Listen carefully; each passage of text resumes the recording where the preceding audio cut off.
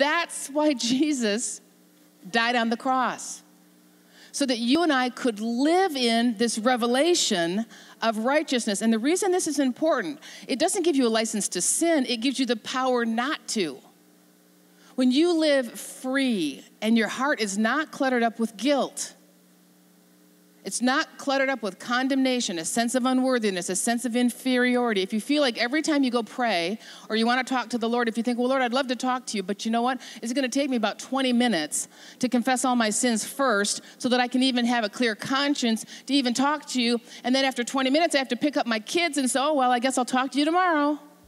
I'll live another day in guilt. This is the life for a lot of Christians, and it's such robbery because you can approach His throne of grace with boldness because of the blood of Jesus Christ and the righteousness He's given you any day of the week.